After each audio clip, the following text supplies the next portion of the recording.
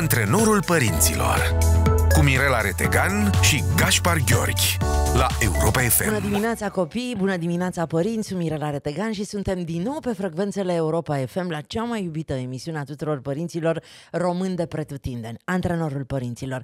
Alături de mine în studio, colegul, partenerul, prietenul meu, Gaspar Gheorghi. Bună dimineața, Gaspar! Bună dimineața, Mirela! Îți mulțumesc foarte mult pentru provocarea de săptămâna trecută. Abia aștept să-mi povestești. Și să-ți povestesc că ar trebui să facem emisiunea numai despre câte minciuni albe și ocazionale am spus, dar din ultima categorie, să știi că n-am spus niciuna. Mm, felicitări! Și cred că asta a fost uh, surpriza foarte mare pentru oameni, să descopere uh, că uneori putem să facem și rău, fără să ne dăm seama, uh-huh. uh, doar folosindu-ne de niște instrumente uh, de moment și ne luând în calcul impactul pe care îl are ceea ce spunem despre cineva. Ceea ce are foarte mult sens, într-adevăr, dacă nu suntem atenți la cum funcționăm, avem impresia că suntem doar niște îngerași. Însă în momentul în care ne uităm, uh, și nu neapărat cu critică, ci doar cu foarte multă curiozitate, realizăm că da, avem multe obiceiuri pozitive, dar și câteva strategii care nu sunt tocmai de aplaudat. Deci astăzi vreau să vorbim despre mm, relația copilului cu psihologul. Pentru că tu nu poți să-ți imaginezi cam uh, câte mesaje și intervenții primesc eu de la uh, vecina uh, fetei care îmi face manicura până la verișoara uh, finei pe care am botezat-o în nordul țării și cu mătra mătușii colegului meu de la Zurli, știind că lucrez cu tine și că ne vedem destul de des, toată lumea îmi cere uh, recomandări pentru psihologi la care să-și ducă uh, în, tra- în terapie copiii. Caut psiholog pentru copil, caut psiholog pentru copil. Și uh, noi am mai avut discuțiile astea, noi doi, dar aș vrea să facem o discuție pe această temă, în această oră pe care o avem la dispoziție, despre uh, ce înseamnă un psiholog pentru copii, uh-huh. când ducem copilul la psiholog, dacă ducem doar copilul sau trebuie să meargă și uh, unul sau ambii părinți sau uh, adultul cu care există probleme, în ce măsură uh, întâlnirea cu psihologul poate să ajute Uh, transformarea copilului într-un comportament mai, mai bun. În zona asta vreau să mergem și îi rog pe toți cei care și-au pus măcar o dată problema să-și ducă la psiholog copilul, să ne ascultă pentru că vor avea cu siguranță răspuns la foarte multe întrebări. Mai ții minte cum am reacționat eu când mi-a spus copilul meu că vrea la psiholog? Sincer, nu mi-amintesc. Nu am întrebat-o pe Maia, de ce ți-am făcut? Aha. Și un an de zile am refuzat să accept asta nici nu mi-a trecut prin cap pentru că sentimentul meu de vină că a ajuns copilul meu să ceară la psiholog era mult mai mare decât capacitatea mea de a înțelege nevoia ei să-și limpezească gândurile. Drept urmare, Gașpar, ce înseamnă un psiholog pentru copii? Psihologul e acel uh, specialist în sănătate mentală, sănătate emoțională, relațională, care ne poate ajuta să ne înțelegem un pic mai bine noi pe noi, să ne acceptăm mai ușor emoțiile, gândurile și să vedem ce anume ar fi de schimbat la comportamentele noastre, pentru ca interacțiunea cu propria persoană și cu cei din jur să fie una cât mai armonioasă și cât mai sănătoasă. E foarte, foarte important de știut că din punctul meu de vedere, de exemplu, pentru copiii mai mici de 6-7 ani, Uh, nu ar trebui să meargă la psiholog fără să fie constant prezent și părinții sau mai degrabă, în astfel de situații, recomandarea mea e ca intervenția de specialitate să fie adresată în special părinților, bunicilor, adulților care locuiesc împreună cu acest copilaj, pentru că de regulă dacă schimbăm ceva la nivel de mediu, la nivel de familie, la nivel de interacțiune, comportamentele negative ale copilului se vor uh, ameliora. Dacă vorbim de copii mai mari, deja de școlari, de adolescenți, acolo într-adevăr uh, pot ajuta extrem de mult aceste întâlniri unul la unul cu psihologul sau cu psihoterapeutul, în care copilul are posibilitatea sau adolescentul are posibilitatea, Mirela, de a pune în cuvinte o serie de lucruri pe care probabil că nu îndrăznește să le discute cu părintele, de teamă să nu fie criticat, să nu fie judecat, să nu fie tot felul de consecințe negative, să nu fie pedepsit. Și atunci un psiholog sau un psihoterapeut întâlnește acea persoană în prezența căreia se poate face vizibil și cu părțile sale mai puțin frumoase, pentru că de regulă părintele are tendința de a se uita în special la minusurile copilului, la ce are de corectat, ce are de ajutat ajustat, ce are de îmbunătățit și știi că cu toții funcționăm pe acest principiu, că vine vorba de relația de cuplu, Ba, mai relația mult, cu... Mai mult prefer să nu știu. Prefer să nu Sau mă ascult, mă ascund în negare, exact. Să, prefer să nu-mi spui pentru că mă sperie, pentru că nu știu ce să fac cu tine, de unde să te apuc și atunci uh, aleg e să, și această variantă, să-ți da. distrag atenția de la haide pe bune, ce probleme ai tu, tu n-ai niciun motiv, ai tot ce trebuie, îți ofer uh, cea mai bună școală, cea mai bună uh, mâncare, cele mai haine, bune haine, exact. uh, ai uh, divertismentul pe care ți-l dorești, care sunt problemele tale? În timp ce psihologul e acel specialist care este educat, care este pregătit și care are posibilitatea de a privi acest copil probabil dintr-o perspectivă un pic mai complexă. Am uh, posibilitatea de a mă uita la clientul din fața mea fiind un pic mai obiectiv decât e mintea subiectivă a părintelui. Deci i-am oferit viață, i-am oferit uh, grija de a îl crește, i-am oferit condiții de uh, trai și de educație, i-am oferit divertismentul momentului. Cum ajunge un copil să aibă nevoie de terapie într-un cabinet de psihologie? Psihologia relațiilor, psihologia dezvoltării ne spune că de cele mai multe ori comportamentele problematice în uh, felul în care funcționează copilul apar din cauza unor deficite sau din cauza unor excese. Și apropo de i-am oferit atenție, i-am oferit uh, toate uh, gadgeturile din lume, i-am oferit posibilitatea de a învăța la cele mai importante școli, niciun părinte nu e perfect.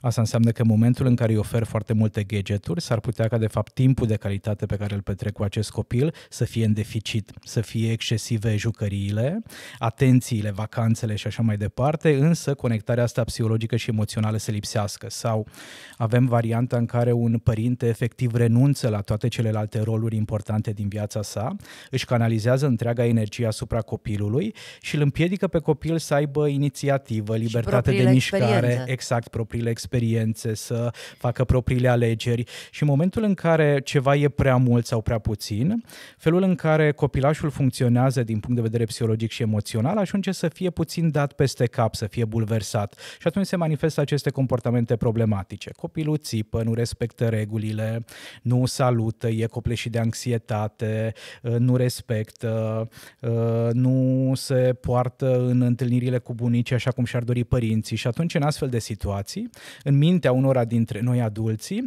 apare această întrebare, cum ar fi dacă l-aș duce pe copil la psiholog? Doar că și aici prima primul gând pe care, l-au, pe care îl avem foarte mulți dintre noi este să luăm acest copil, să-l ducem să-l repare să-l cineva, rezolve. să-l rezolve cineva, mergând pe ideea că uh, majoritatea problemelor comportamentale pe care le vedem sunt uh, strict responsabilitatea copilului, fără să ținem cont de faptul că acest copil crește, trăiește într-un mediu care îl influențează foarte mult. Sau pur și simplu, noi nu suntem specialiști, așa cum ne așteptăm ca școala să le duce și uh, medicina să-l facă bine, ne așteptăm ca și psihologul să-l ajute să-și uh, lămurească problemele pe care le are. Exact. Sunt tot felul de situații. Reușim uh, în sfârșit să identificăm uh, faptul că e nevoie în familia noastră să intervină un specialist și începem să căutăm. Ce facem? Îi scriem mesaj Mirele Retegan să vorbească cu Gașpar, să găsească un, unde găsesc un psiholog sau cum aleg sau cum știu că e potrivit un psiholog pentru copilul meu. Una dintre cele mai semnificative schimbări, Mirela, care s-au făcut de când cu pandemia, e că specialiștii în sănătate mentală au devenit mult mai vizibili decât erau în trecut. S-ar putea ca un părinte să urmărească știrile, să asculte o emisiune radio și să audă vocea unui psiholog, să vadă un psihoterapeut și acolo deja să primească puțină încredere, să își ia laptopul sau telefonul și să caute acest specialist, să văd în ce oraș activează, cum pot ajunge la el. Există și varianta în care efectiv întreb un prieten, un cunoscut, cunoscut, e probabil imposibil să nu existe în sistemul meu relațional cineva cine deja merge la terapie sunteți, și de la cine aș putea obține niște voi informații. Voi specializați pe uh, anumite traume, pe pe anumite problematici? Aș spune că mai degrabă pe anumite abordări și domenii, exact așa cum avem cardiologi, avem oftalmologi, avem uh, ortopezi, avem psihologi specializați în relațiile de familie, psihologi specializați în tratamentul depresiei, al anxietății, psihologi specializați în psihoterapia copilului, iar pe platforma noastră, pagina de psihologie.ro, există o rețea națională de psihoterapeuți cu specializări în diferite orașe ale țării, iar cei care își doresc pot uh, accesa platforma pentru a vedea dacă simt o anumită curiozitate sau deschidere în a interacționa cu un anumit psiholog, pentru că este foarte importantă relația terapeutică. Profit de ocazie să le spunem că toată luna martie, pe Fundația Zurli,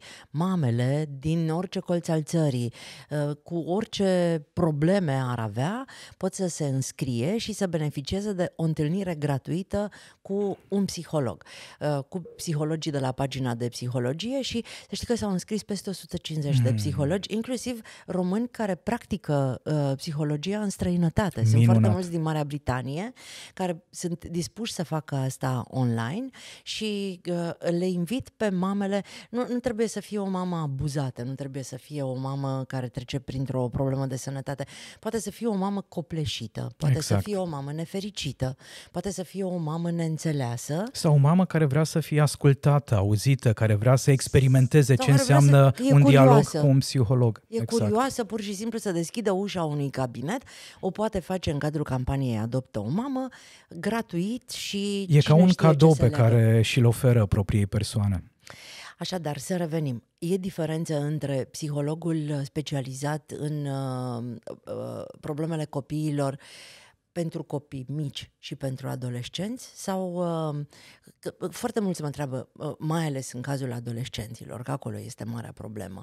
Dacă e copilul foarte mic, cu siguranță că părintele își dă seama destul de devreme și nu e doar o simplă întâlnire cu psihologul, de cele mai multe ori știu și eu din experiența din jurul meu că situațiile sunt mai grave mm-hmm. și mhm. mai grele. În schimb, pe adolescenți, Majoritatea părinților se trezesc, mie îmi place să spun și deja a devenit celebră expresia, perioada de exorcizare a părinților, când copiii scot toți dracii pe care nici nu știai că ai acolo și ultima instanță este te duci la psiholog. Mm-hmm. Avem psihologi specializați pe adolescenți? Din fericire avem și exact așa cum ai punctat, există psihologi care lucrează în special cu adulți, cupluri, familii și copii. Și aici pe fiecare domeniu avem uh, specializări și mai concrete. E destul de diferită, de exemplu, psihologia preșcolarului față de psihologia adolescentului. Și atunci când uh, căutăm un specialist în sănătate mentală, e important să găsim acel om care lucrează în special cu acea categorie de copii care se potrivește cu vârsta pe care o are copilul meu, pentru că dacă duc un uh, adolescent la un în cabinetul unui psihoterapeut care lucrează în special cu copii de grădină, grădiniță, s-ar putea ca inclusiv uh, vibe-ul acelui cabinet, obiectele să fie tipice muncii cu un copil uh, preșcolar. Un context în care adolescentul nu se va simți bine, pentru că el de fapt vrea să semene cât mai mult cu un adult. Și atunci dacă îl duc în contextul în care lucrează un terapeut care cunoaște suficient de bine uh, toate aceste jargoane pe care le folosesc adolescenții, care se uită la, la seriale Știe și filme lor. pentru adolescenți, exact, adică deja modalitatea de abordare, felul în care intru, foarte frumos ai punctat în lumea adolescentului, e una care îl va încuraja pe adolescent să se deschidă. E o relație care îl va ajuta pe adolescent într-adevăr să simtă că e în locul potrivit, cu persoana potrivită și pot începe tot acest proces de cunoaștere de sine, de transformare. Asta e ca și când îmi dai mie un un copil și ai certitudinea că știu ce am de făcut cu el. Exact. Chiar dacă eu aici la radio pot să fiu un om foarte serios și să abordăm teme uh, mai puțin uh, vesele, dacă mă lași în terenul de joacă al copiilor... Intri într-un rol anume. Știu exact uh-huh. cum să-i activez, să prindă încredere în mine și să îl iau cu mine până în punctul în care îmi doresc să, să ajungem își dă seama părintele sau își dă seama copilul dacă este potrivit psihologul pentru, pentru el? Din punctul meu de vedere este foarte, foarte important dacă psihologul lucrează doar cu acest copil sau adolescent, să fie alegerea copilului sau adolescentului. Pentru că uneori părinții aleg un terapeut sau un psiholog uh, pentru că vor să-și confirme ei anumite ipoteze. Dacă copilul e un pic mai... Uh, haotic, mai dezorganizat la nivel de comportament, dacă nu este foarte atent la detalii, probabil că părintele va căuta un psiholog gen profesor, mai autoritar, mai strict, care să-i bage mințile în cap acestui copil. Însă nu e sigur că un astfel de adolescent, întâlnind una, un terapeut strict, ar putea să progreseze. De aceea, în momentul în care vrem să căutăm un astfel de specialist, e indicat să ne așezăm împreună cu copilul și adolescentul, căutăm niște filmulețe pe YouTube, vedem cum arată profilul de Facebook, ne uităm dacă are un blog sau un site persoana respectivă și Recomandarea mea este să selectăm 4-5 terapeuți, după care să alegem care e omul față de care simțim că ne-am putea deschide. Mi-am amintit acum că Maia uh, avea uh, în adolescență o singură profesoară pe care o iubea foarte tare, profa de franceză, care avea cont de Facebook. Uh-huh. Și era cool pe contul ei de Facebook și mai îi plăcea foarte tare această doamnă pentru că i s-a părut diferită de celelalte. Nu m-aș Sigur. fi gândit niciodată la această uh, Uh, acest casting pe care părinții pot să-l facă care de cu fapt, copiii. Care de fapt are foarte mult sens, pentru că dacă ne gândim exact așa ne alegem și noi uh, oamenii, noi ca adulți, oamenii cu care interacționăm în diferite arii ale vieții noastre. Sigur, dacă eu în calitate de adolescent văd că terapeutul are un profil de Facebook pe care postează anumite lucruri cu care eu rezonez, o să-mi fie mult mai simplu să ajung la acest terapeut decât dacă uh, vine vorba de o persoană care nu are niciun acces la social media. Tu, de exemplu, exemplu, în momentul în care îți cauți un uh, specialist în beauty, în frumusețe, vei sau dori... în dragoste. Sau în dragoste. Există? Vei dori... Mm, cu siguranță. Se, vei dori deci, în orice serios, caz... Exist, exist, există uh, uh, psihologi uh, în, în, în iubire? Există psihologi care te pot ajuta să îți găsești uh, energia Am necesară. și valentine și dragobetele să facem o temă despre asta. Cu siguranță, indiferent de data din calendar în care suntem, Mirela, putem face schimbări aici. Însă ce vreau să punctez e că nici noi nu mergem la oricine atunci când mm. avem nevoie de un ajutor, de un sprijin, de un suport. La fel e și în uh, ceea ce privește vizite la psiholog. Eu sunt foarte curioasă cum te ajută psihologul și aș vrea după pauză, pentru că mai avem foarte puțin timp, să luăm câteva spețe, să discutăm așa punctual pe niște cazuri. Dar până atunci, ajută-mă puțin să înțeleagă oamenii și mai bine. Um, să nu închidem prima parte a emisiunii în care vorbim despre relația copilului cu psihologul, fără să le dăm câteva um, tipsuri. Intră pe pagina de psihologie la, la voi, uh-huh. pe mhm. site și acolo uh, găsim liste cu psihologi. Uh, scriem direct unui psiholog sau scriem paginii de psihologie care poate să ne direcționeze?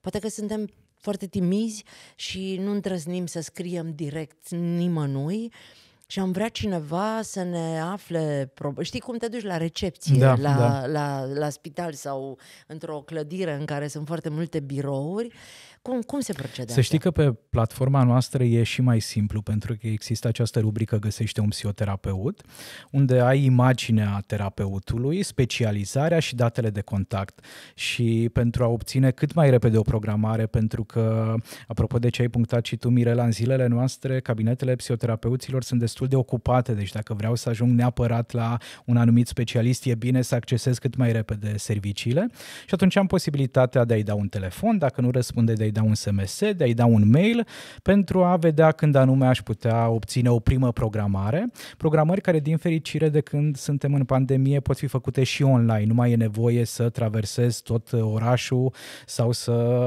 fac naveta de la Ploiești la București să pentru a interacționa. Are, are o, o dom- doamnă, domnișoară, eu nu o cunosc, nici nu știu cum o cheamă, psiholog, cu care uh, ține Vorbește în continuare din legătura din Barcelona. Uh-huh. Săptămânal are o ora ei de întâlnire cu psihologa, știu pentru că eu plătesc. Și la sfârșitul ședinței... Te anunță, mama e de achitat anunță, ședința. Mama, vezi că trebuie să achiți uh, ședința. Uh, o să revenim după pauză, să vedem în ce măsură ne ajută psihologul dacă avem un copil uh, agresiv, Uh-huh. Cum, cum ne ajută psihologul dacă avem un copil uh, trist? Cum ne ajută psihologul dacă avem un copil care nu vrea la școală? Cum ne ajută psihologul care, dacă avem un copil care refuză uh, mâncarea, refuză somnul, refuză să facă altceva decât să stea pe tabletă sau la televizor, refuză să socializeze cu alții? Din potrivă, e disperat după socializare. Aș vrea să vorbim un pic uh, pe fiecare uh, situație în parte ca să-și poată face oamenii o idee și mai bună. Și acum la pauza asta, câteva minute intrăm în pauză, eu o să intru pe pagina de psihologie să văd dacă aveți și terapeuți specializați în iubire. Ne-am întors la antrenorul părinților, sunteți la Europa FM și aici în studio împreună cu colegul meu Gaspar Gheu vorbim despre relația copilului cu psihologul. Și în prima parte a emisiunii am uh, încercat să descoperim când e nevoie să apelăm la un specialist, dacă alegem uh, noi sau alege copilul specialistul și uh, care sunt categoriile de specializări pe care le aveți voi în psihologie. Am promis că revenim după pauză și vorbim punctual pe câteva uh, situații în parte. Vreau să te întreb dacă tu ai consiliat copii da, am avut o perioadă foarte lungă de timp uh, în momentul în care mi-am început practica clinică, când am lucrat în special cu copii și familii și în primii mei ani de viață profesională în București am lucrat în special cu copii la Salvați Copii, o organizație pe care o apreciez extrem de mult. După care acum ai trecut și tu ești uh, psiholog pe relații de familie, de mhm. cuplu, mm-hmm. în special. Din, din totdeauna am fost atras de psihoterapia familiei, o abordare care pune accent atât pe relația de cuplu, cât și pe relația dintre părinți și părinții acestora, dintre copii și părinți. Și am avut de-a lungul anilor uh, diferite perioade. A fost o perioadă când am fost foarte interesat de ce se întâmplă, în special între părinți și copiii mici, după aceea între părinți și adolescenți, iar acum de câțiva ani buni uh, mă pasionează foarte tare relația de cuplu și toate aceste moșteniri transgeneraționale pe care le aducem cu noi din familia de origine? Copilul meu uh, este agresiv. Copilul meu lovește, uh, aruncă, țipă, se trântește, uh, face foarte multă dezordine socială în jurul lui. Am probleme la școală, Uh, nu uh, reușește să se integreze și uh, am probleme cu părinții celorlalți copii care suferă din cauza felului în care se comportă copilul meu. Cum mă poate ajuta pe mine psihologul să rezolv această situație?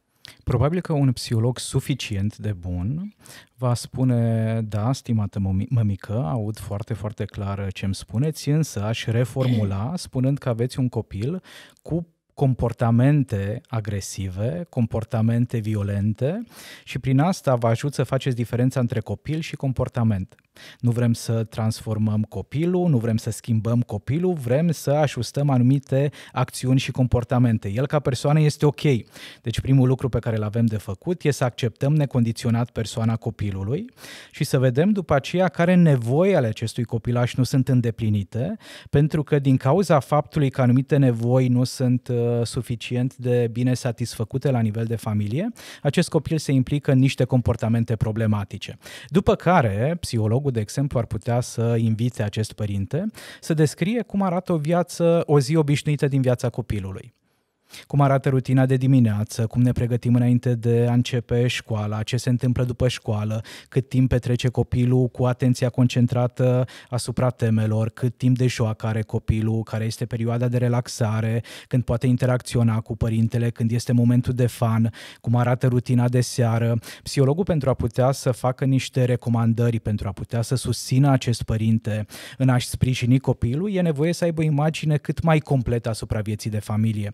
De exemplu, la începutul psihoterapiei de familie, imaginează-ți, Mirela, că ședințele arătau în felul următor. Fie mergea terapeutul acasă, la familie, și stătea împreună cu membrii acesteia o perioadă suficient de lungă de timp pentru a observa care este dinamica, fie, după ce au apărut uh, toate aceste aparate electronice moderne, instalau câte o cameră în uh, o cameră video. Și înregistrau o zi. Și înregistrau o zi, sigur, în acele zone ale casei în care putea fi făcut făcută înregistrarea și după aceea un grup de experți analizau să vadă exact care sunt acele comportamente prin care adulții încurajează inconștient copilul să se implice în astfel de acte de violență.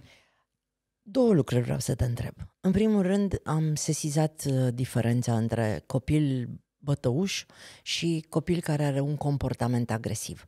Dacă vin uh, peste agresivitatea copilului, să-i mai pun și eticheta de bătăuș. Și eu, mamă, zic, copilul meu e bătăuș. Și învățătoarea zice, copilul dumneavoastră este bătăuș. Uh, și bunica zice, vezi că e bătăuș. El chiar crede că este bătăuș. S-ar putea identifica la un moment dat cu această etichetă și să-i fie foarte greu să o mai dezlipească. Pe de altă parte, ce ne arată psihologia cognitivă, Mirela, e că în momentul în care folosim acești uh, termeni, aceste cuvinte pentru a defini un copil, riscăm să nu mai vedem și acele momente în care copilul meu nu se implică în comportamente agresive. Deci dacă am impresia că Mirela este o fetiță uh, răutăcioasă, nu, care hai, hai să dăm un exemplu lucruri, și mai... Așa. Și, Mirela este grasă. Exact. Mirela e grasă toată ziua. Uh-huh. Mirela e grasă și noaptea când doarme, da? Și s-ar putea să nu văd uh, toate lucrurile frumoase pe care Mirela le face, s-ar putea să nu văd uh, strălucirea din ochii ei, să nu văd bunul gust pe care îl are în momentul în care își asortează rochița cu pantofiorii, pentru că mintea mea nu vede altceva decât faptul că Mirela este grasă. La fel se întâmplă și atunci când lipim această etichetă de copiii noștri, indiferent de problematica cu care ei se confruntă, nu vedem nimic altceva și asta e, e un mare păcat, pentru că e ca și cum cum n-am face altceva decât să-i dăm din nou și din nou câte o palmă copilului, fără să-l apreciem pentru părțile sale frumoase, pentru acele lucruri care uh, sunt uh, în rezonanță cu valorile noastre de familie. Ok, am un copil care are un comportament agresiv. Foarte frumos spus, felicitări. Vin și discut cu tine, psihologul, despre asta. Tu încerci să identifici um, um, rutina familiei noastre. Pentru a vedea exact ce îl determină pe acest copil să se implice în astfel de comportamente. Și ce poți să descoperi? Poți să descoperi faptul că probabil că atunci când există conversații dificile între părinți, Uh, există și comportamente violente între aceștia sau pot să descoper faptul că unul dintre părinți vine obosit acasă de la serviciu, nu are răbdare adică cu copilul. pe românește părinții pot să se bată? Părinții da? exact între se pot ei. implica în comportamente violente.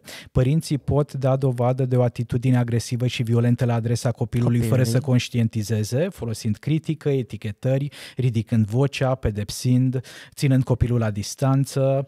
Uh, pot observa de asemenea că acești uh, părinți părinți uh, îi oferă atenție copilului doar în momentul în care el greșește și în momentul în care copilul își face uh, ordine în cameră, în momentul în care mulțumește îl pentru lasă cină. În plata Domnului. Îl ignoră. Îl e, ignoră. e invizibil în momentele okay. respective și dacă eu îi ofer copilului atenție doar atunci când se implică în comportamente problematice, evident că el învață că pentru a primi un pic de bunătate ambalată sub forma unei critici sau a unei pedepse, e nevoie să facă ceva ceva nepotrivit. Și ce îi cer părintelui să facă? Îl întreb pe părinte dacă crede că ajută toate aceste strategii pe care le-a folosit până în prezent, dacă îl pedepsiți pe copil în mod constant, dacă îl privați de uh, obiectele lui preferate, dacă, dacă nu îl lăsați să iasă din casă, dacă îl bateți, dacă îl trageți de urechi, dacă și îl trageți de păr. că nu ajută. Și părintele o să spună cel mai probabil că nu. da, nu ajută. După care îl voi întreba pe părinte ce alte strategii a folosit până în momentul prezent. Pentru că s-ar putea ca un părinte care se implică în comportamente violente să fie un copil copil care a crescut într-o familie în care se foloseau aceleași strategii. Și aici e nevoie să-l ajut pe adult să-și lărgească un pic perspectiva mentală și să înțeleagă că da, bătaia nu este ruptă din rai. Da, violența nu face altceva decât să nască violență. Nu pot avea așteptarea de la copilul meu să nu se mai implice în comportamente agresive, dacă atunci când apare o problemă în familia noastră, eu nu fac altceva decât să dau dovadă de agresivitate.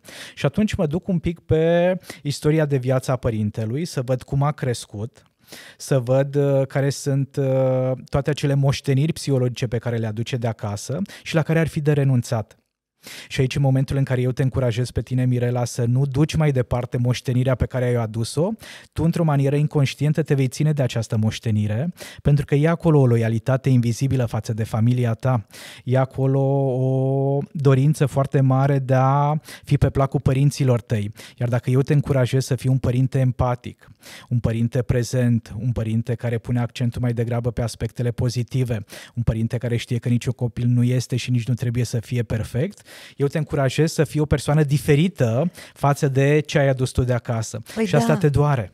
Păi da, dar tu mă pui să aleg între a fi pe placul părinților mei și a fi pe placul copilului meu. Uh-huh. Și, și eu te voi și încuraja... eu sunt obligată față de copilul meu, în primul rând într-o manieră conștientă, dar inconștient, probabil că legăturile tale foarte, foarte puternice încă sunt față de părinții tăi.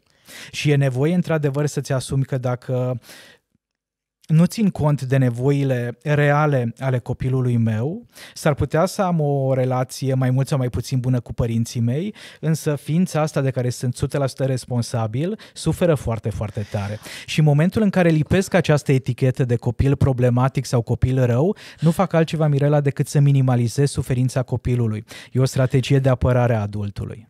Râd pentru că o să mă cerți dacă îți spun ce am făcut. Mi-a scris o doamnă, că mi-am scriu, eu le spun că nu sunt psiholog, dar îmi scriu și mă roagă și mă întreabă tot felul de lucruri și uneori mai îmi dau cu părerea dacă mi se pare cazul uh, foarte interesant și chiar simt să spun ceea ce cred. Și mi-a scris o doamnă foarte drăguță care are doi copii.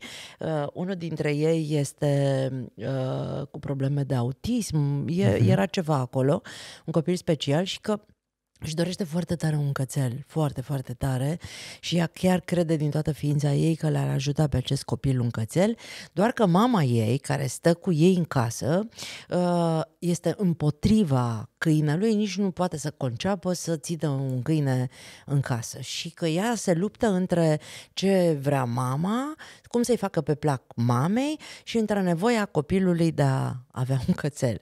Și am zis, păi, uite, eu îți dau un răspuns foarte simplu, că mie mi-e foarte clar, câți ani are mama ta? Uh, 75. Câți ani are copilul? 7 cât mai are de trăi copilul și cât mai are de trăi mama ta. Tu ce pui în balanță?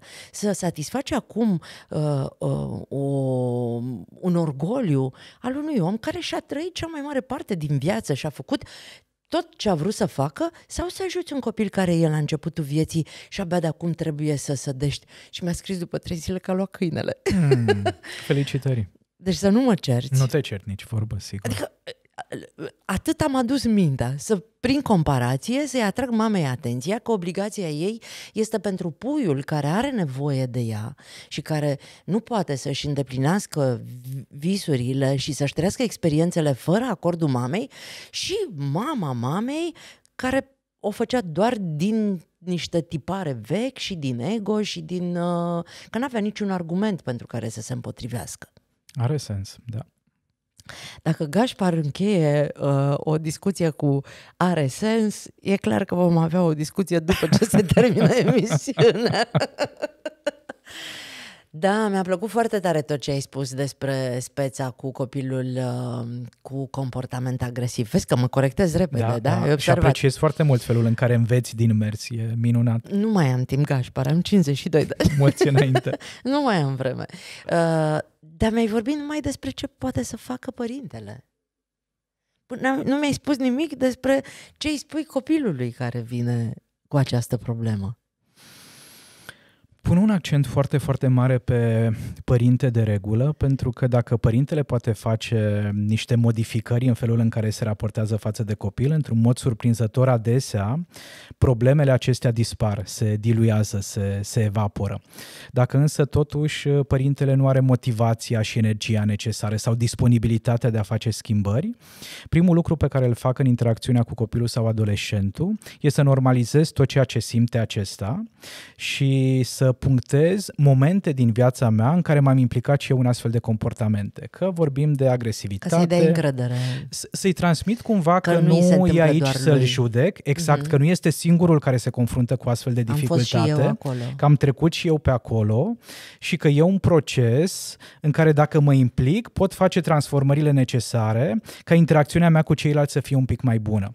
Dacă în momentul în care vine psihol- uh, copilul la psiholog, psihologul nu face altceva decât să-l dojănească, să-l uh, umilească, să arate cu degetul spre el, pentru că sunt din păcate și astfel de situații. Nu toți psihoterapeuții sau toți psihologii sunt suficient de bine pregătiți și de maturi din punct de vedere psihologic și emoțional încât să știe cum anume să abordeze un client indiferent de vârsta acestuia.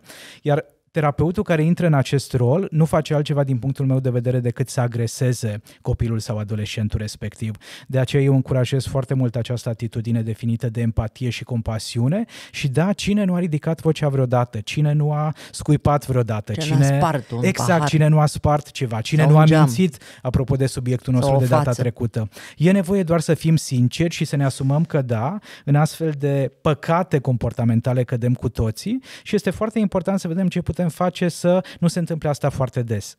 Asta se întâmplă și în cazul celorlalte comportamente. Absolut. Dacă avem un copil uh, foarte timid spre antisocial, dacă avem un copil uh, foarte uh, m- disperat să fie pe locul întâi și care suferă enorm de fiecare dată când câștigă altcineva, e, e același proces. Exact. Procesul este același și mai mult decât atât, fiecare specialist în sănătate mentală poate recunoaște în propria poveste de viață momente în care a fost timid, agresiv, uh, momente în care s-a comparat, momente în care a suferit de perfecționism, momente în care s-a întâlnit cu anxietatea, cu problemele Poți de să schimbi somn. psihologul?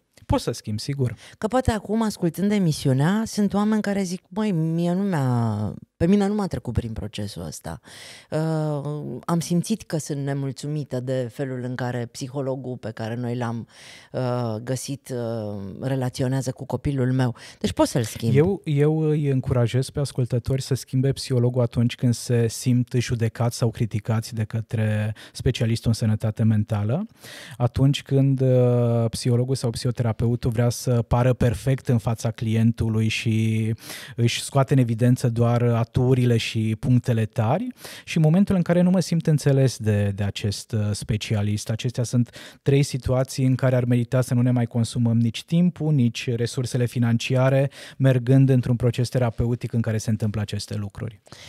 Tu mai ai timp uh, de cabinet? Adică ai, ai locuri goale la cabinet? Din păcate nu, agenda mea e complet uh, încărcată. Pe tot anul? Uh, în acest moment, uh, cu tot uh, respectul, Mirela, fac programări pentru 2025. Agenda mea și lista de așteptare e atât de lungă încât uh, se, se întinde pe o perioadă de mai mulți ani și mie mă simt extrem de vinovat și deșenat Asta când pentru spun că- asta. Asta, asta pentru că uh, o terapie poate să dureze câțiva ani Exact, de zile exact. și atunci tu lucrezi cu niște oameni pe care până nu i-ai adus acolo unde își doresc ei, nu poți să-i abandonezi. Exact, exact. Și sunt genul de terapeut care Și crede... din păcate avem câteva ore di- la dispoziție fiecare Absolut, zi. absolut. Sunt genul de terapeut care crede în faptul că prezența psihologului și a psihoterapeutului e similară celei de medic de familie. Mhm. Și în momentul în care ai câștigat în calitate de specialist în sănătate emoțională și relațională încrederea unui client, el se va întoarce pe parcursul anilor, o să-și aducă copilul, o să-și aducă partenera. Uite, imaginează-ți, Mirela, un lucru absolut uh, excepțional pe care l-am trăit anul trecut. Copii preadolescenți, adolescenți cu care am lucrat încă din vremea Salvați Copiii, s-au întors acum la mine împreună cu jumătatea lor de cuplu. Ah, ce frumos! Și n-ai, n-ai cum să nu primești astfel de persoane în uh, terapie. Da, foarte frumoasă și foarte interesantă emisiunea ta. Din păcate, noi mai avem câteva minute la dispoziție. Le reamintim uh, tuturor ascultătorilor noștri că pot să meargă pe pagina de psihologie cu toată încrederea. Acolo sunt psihologi pe care tu îi cunoști Exact, exact. personal, pe aproape pe toți. aproape 90% dintre ei s-au format în cadrul școlii noastre de psihoterapie. Sunt și câteva persoane care nu s-au format la noi, însă pe care le știu și cu care avem o relație profesională bună. Asta e foarte important. Intrați acolo și dacă simțiți nevoia de a vorbi cu un specialist, uh, faceți o primă încercare. Pentru mamele care ne ascultă și care uh, își doresc să descopere ce înseamnă o oră la psiholog, în campania Adoptă o mamă, care se desfășoară toată luna martie, pe Fundația Zurli puteți să vă înscrieți și noi vă oferim posibilitatea de a vă întâlni uh, gratuit o oră cu un psiholog, iar dacă sunt psihologi care ne ascultă și care n-au intrat în această campanie, îi invit să o facă, să scrie pe pagina mea, pe Instagram, oriunde doriți. Mi se pare că s-a creat așa o mișcare foarte frumoasă și aș vrea să o ducem mai departe. Să, să luna asta martie a demonstrat că uh, psihologii reprezintă o comunitate foarte mare și foarte frumoasă pentru că s-au recomandat unii pe alții, hmm. s-au strigat unii pe alții să intre în uh, invitația mea de a dona um, uh, întâlniri gratuite cu, cu mamele, cu această categorie, dar poate mai facem o dată pe adolescenți, Sună foarte poate bine. facem o dată pe bunici, Da. Cred că acolo ar fi o mare nevoie. Gașpar, trebuie să-ți spun că provocarea de săptămâna trecută mi-a dat puțină bătăi de cap pentru că Simona, colega noastră care se ocupă de online-ul de la antrenorul părinților, Și apropo de asta, aș vrea să o felicit pe Simona pentru felul în care își face treaba și toți părinții care ne ascultă să intre pe Facebook la Antrenorul Părinților, să dea like-uri, să urmărească postările pentru că sunt minunate. iar ea numără fiecare creștere de Sigur, audiență sigur. pe care o are acolo pentru că e jobul ei. Și pe Facebook și pe Instagram. Și pe Să nu uităm Instagram. nici Instagram. Exact. Și uh, Simona mi-a numărat toate minciunile, pentru că ea, ea, Simona ia în serios tot ce zici tu aici la emisiune. Și nu mi-a fost ușor să fiu uh, foarte sinceră săptămâna asta, așa că abia aștept să-mi spui provocarea pe săptămâna viitoare. Provocarea pentru săptămâna care urmează e să-i uh, povestim copilului ce înseamnă psihologie, ce înseamnă psiholog, ce înseamnă vizite la un psiholog sau un psihoterapeut, cumva să, să-i facem un soi de psihoeducație Mhm. copilului apropo de Cu ocazia faptul asta că... ne facem și nouă. Absolut. Intrăm pe, absolut. pe, pe on- online și uh, Căutăm informații, ne documentăm. Ne... găsim și pe YouTube, găsim Sigur, sigur, filmulețe. sigur. Sunt foarte, foarte multe filmulețe în, uh, în online. Asta e provocarea pentru părinți. Ok. Și aș vrea să ne spună la întrebarea de pe Facebook, că tot e începutul lunii martie, ce să ne spună? Să ne spună ceva legat de mămici, legat de primăvară, să-și pună un gând pentru primăvara asta. Sună foarte bine, o intenție. O intenție. Să puneți-vă o intenție, ceva ce vreți să faceți în această primăvară. Nu ne ducem mai departe, ce, chiar să mă gândesc și eu ce vreau să fac în primăvara asta. Știu, vreau să mai slăbesc 5 kg. Ținem pumnii. Da, o să-mi iasă. Sunt foarte hotărâtă. Ce cărți uh, le dăm astăzi oamenilor? Încep eu? Te rog. Eu aș vrea să uh, dăm cuiva dintre cei care scriu uh, o intenție pe Facebook-ul Antrenorul Părinților, pledoarie pentru mami și tati.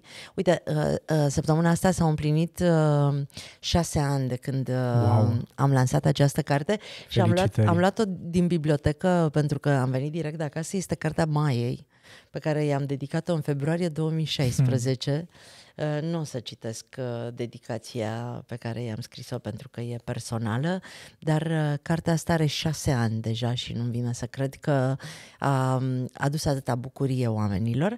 Asta este pentru adulți și pentru copilul din ei, uh, jocul de jucat primăvara, că tot vine primăvara. Minunat, minunat. Uite, asta e una dintre recomandările pe care le facem în cabinetele de psihoterapie, ca părinții să se joace cât mai des cu copiilor și să-și permită această libertate de a se întâlni cu copilul interior. Tu îi trimiți la mine, că Sigur. începem spectacolele la Zurli și eu îi trimit la tine ca să vină fericiți la spectacole. Și așa vom avea o Românie mai sănătoasă, Doamne cu relații ajută! mai puternice.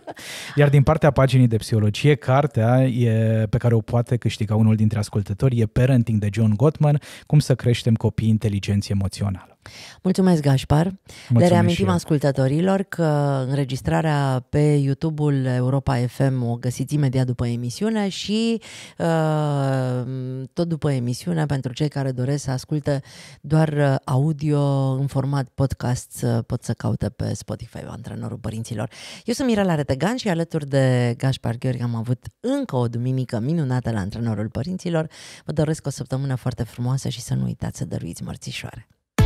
Mirela Retegan și Gaspar Gheorghi Antrenorul părinților la Europa FM.